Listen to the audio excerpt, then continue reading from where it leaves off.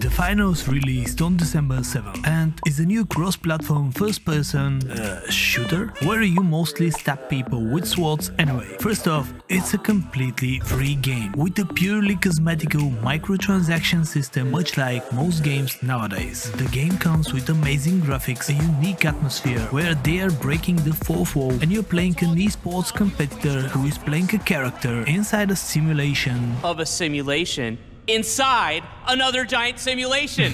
and there are also these super cool broadcasters who are commenting on every aspect of the game in real time, including which team wiped out, who has the most money, are about to cash in, and more. Sit back, relax, and let's explore everything about the finals, including game modes, physics, classes, weapons, and strategies in this one-stop video guide together.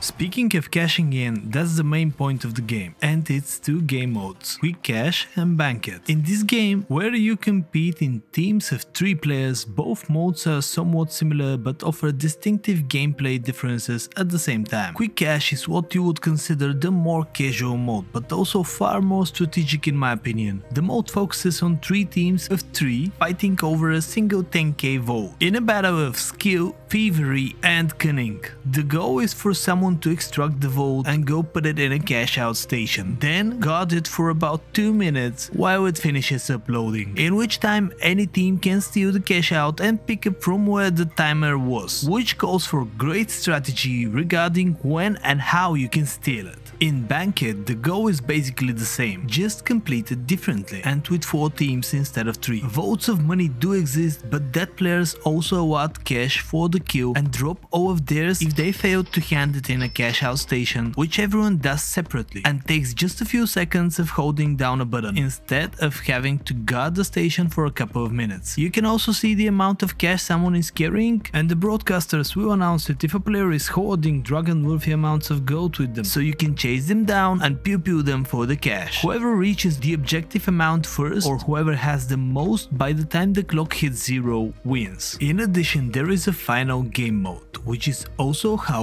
ranked games are played, the tournament. Now in the tournament you play the quick cash game mode in games of 4 teams where the richest two teams advance in a second round of 4 team quick cash. And like the first one, two teams are knocked out and the remaining two teams battle it out in a 3 vs 3 battle for the first spot. Now the main gameplay difference with the tournament mode is unlike the casual game modes where you get infinite respawns, here you're limited to 2 respawns per match. And if you use them up too early, you gotta wait for a revive or a team wipe, which in most cases means you lost a vault.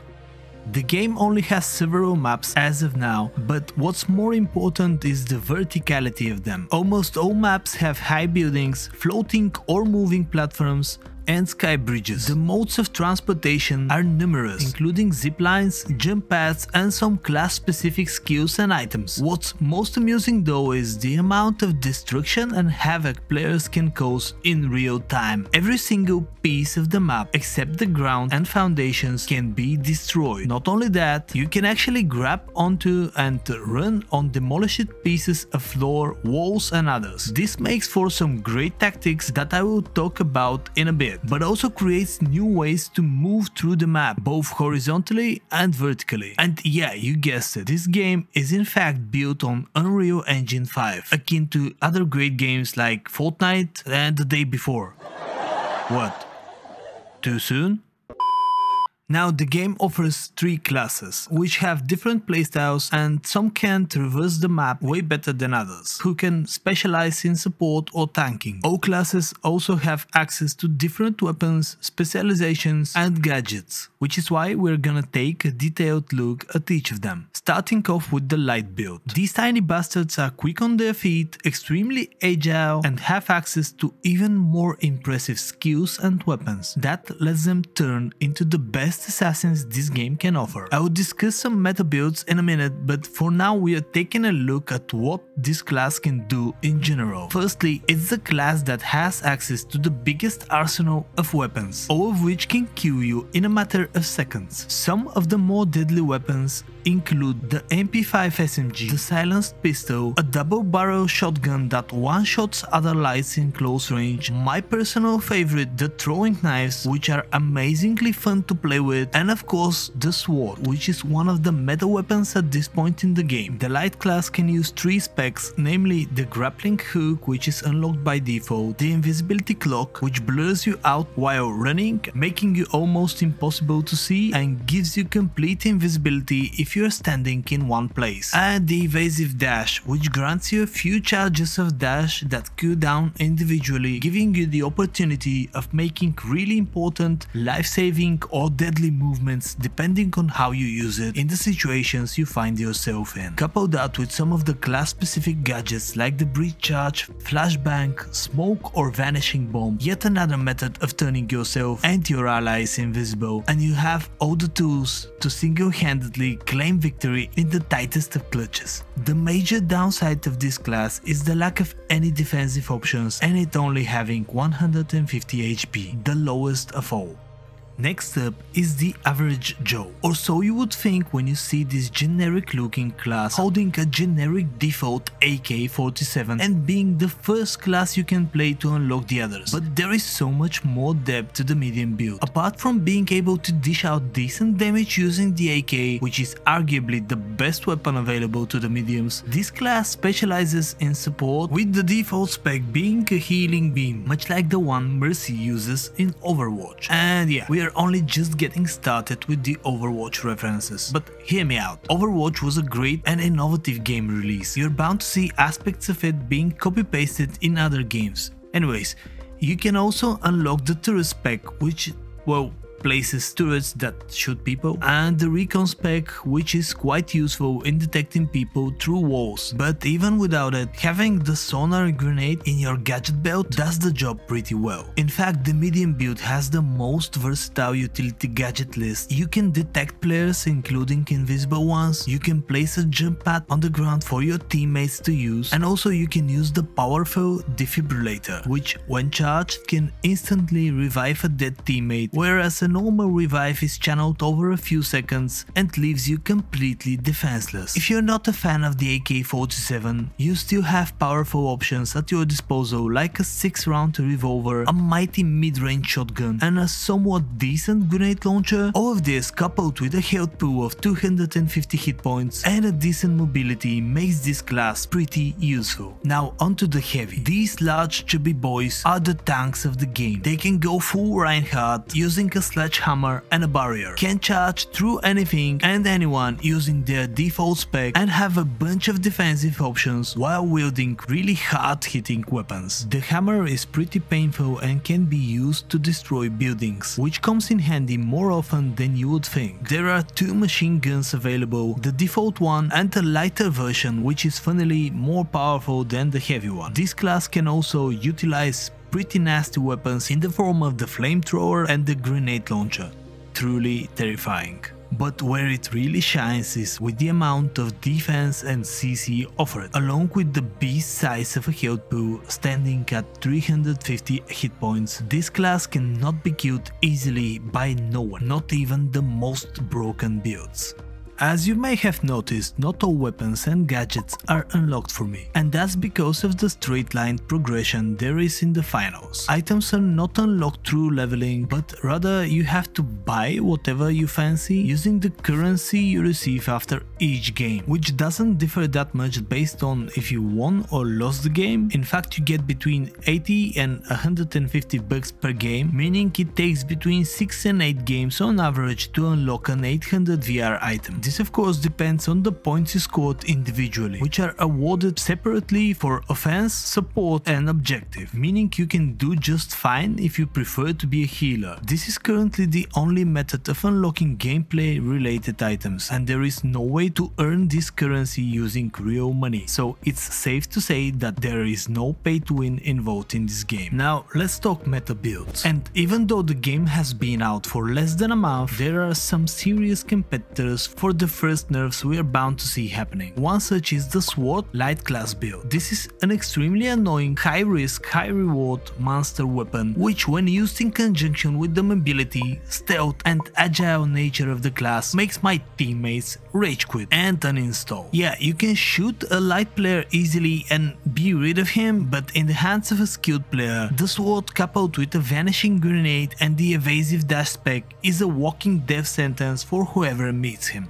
Speaking of lights, there is yet another annoying build that's actually even scarier than the sword, the double barrel shotgun plus invisibility combo. This is one of those all-in one-shot combos that either work out or you get sent to the waiting room, but when you get close enough, get the drop on an enemy and put all these shells in his bum, you easily one-shot a light or two-shot a medium and heavy. Couple that with flashbangs, glitch grenades and a stun gun and you're a walking menace. One last build for the light class is not really that meta, but my personal favorite since I really like playing Genji in Overwatch. That's of course the throwing knives build. Get the evasive dash as your spec and you can really run any gadgets, but I prefer the preloaded combo of smoke, flashbangs and breach charge, since combined they can create team wiping openings or the sneakiest cash out steals, but more on that later. All in all, the throwing knives are really powerful when played right and of course when you are accurate and accustomed enough. They also feel pretty nice to play with, providing this smooth ninja feeling. Funnily, one of the best medium setups is not only available at the very start, but it's also pre-loaded once you play the game for the first time. Yeah, that's right, the AK is possibly the best weapon of the medium class due to its high DPS, large mag and decent accuracy. And having a defibrillator at your disposal makes sustaining your team integrity real quick and easy. Put down a jump pad for your homies and grab your healing gun and you are the top support player everyone wants on their team. On a side note, buying the zipline gadget is a great upgrade or even addition to this build. Having gas mines on a switch is also very useful in defending your cash outs and really hard to play around for your enemies. Just a reminder that if you enjoyed these videos, you can tap the like button and subscribe to my channel to easily see more of my content and support me on this journey. Next up is the heavy. Dishing out high damage with the Lewis gun is currently the way to go. Combine this with some great defensive tools like the barrier spec or the dome shield, grab a few grenades and you're the king of the lobby. Not only do you have the potential to kill everything in seconds thanks to the high DPS and large mag of the Lewis gun, but you are also incredibly hard to kill providing defense for your teammates as well. You can switch out the barrier for the charge spec and get even more creative with your offense depending on your personal preference. Another neat combo is the charge and sledgehammer. Although it's a bit of a meme setup, you can kill anyone in melee range, but you can also demolish buildings like they're made out of crackers. This itself can change the pace of the game when you see the cash out falling from the 4th floor and all the enemies getting choked by their own gas mines. Fun times! I wanted to also share a few general tactics I found to be really useful when the situation calls for it. Firstly, you can attach any kind of gadget on the different barrels you find in-game, which you can by the way pick up with F and shoot them out using your left mouse button. The crazy thing is when you attach explosives to the red torpedo looking thing, it explodes for an even higher damage on hit or delivers deadly gas if you attached gas mines, so keep that in mind. As I said earlier, having smokes and a breach charge is really really OP when playing light because you can set up a smoke screen and use the breach charge to either drop the cash out from the upper floor or open up a small hole for yourself to steal it before people even realize what happened. I've used this successfully in many situations and it's one of the funniest things to do in this game. Lastly, I wanted to take some time to look at the Battle Pass. Seeing as this is a completely free game, the Battle Pass is extremely well made, offering some nice skins including this boxer outfit outfit that has your nickname written on the back of the robe, which is pretty cool in my opinion, but what is more interesting is it offers almost 40% more currency than it actually costs if completed fully. This, combined with the fact you can spend 1150 currency for the starter pack to get some skins and your money back and only then buy the battle pass is a really cool value for your money, if you're into that kind of stuff of course. Keep in mind that some of the nicest weapon skins are actually free, like this diamond pistol skin you get early on or the throwing knife skin which is a really amazing pair of faces. In conclusion, I think the finals is a really amazing game so far and I'm having lots of fun with it. In comparison, the last time I had such fun with a new release was when I played Fortnite back in 2017. This game definitely has ways to go and I think more and more people will get hooked, which is why you should be ahead of the curve and give it a chance now. You won't be disappointed. And if you already did try it, let me know what you think in the comment section below. Thanks for watching and I'm gonna see you in the next one.